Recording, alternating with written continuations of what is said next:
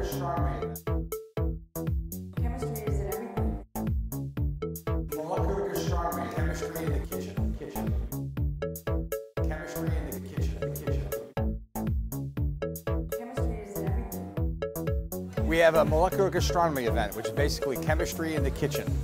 We wanted to show our students how chemistry works with food, give them something new and exciting to check out, and showcase a lot of the talent in Sodexo.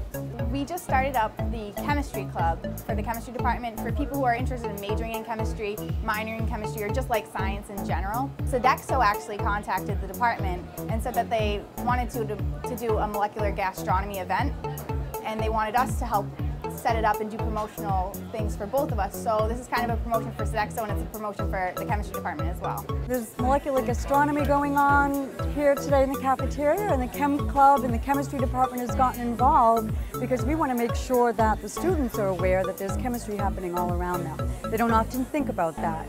So um, we wanted to be involved, and hopefully now they'll never look at food the same way again. One of the uh, missions with Sodexo is innovation. So this, this is a good way to show our chefs and their innovation of chemistry and food.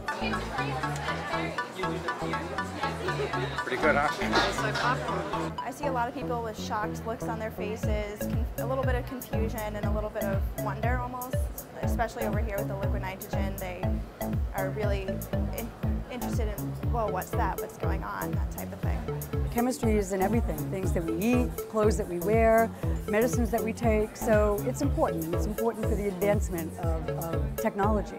Everyone seems really enthusiastic. They seem confused about what's going on, but once they understand it, they seem like they're finally realizing that chemistry, even if you're not studying it, it's everywhere. It's all around you. It dictates your food. It dictates everything. I've seen some person, she came back for four more, so it's a good sign. It's a fun event. I'm having a great time, learning a lot, so it's, it's, it's good. It's good for us and the students.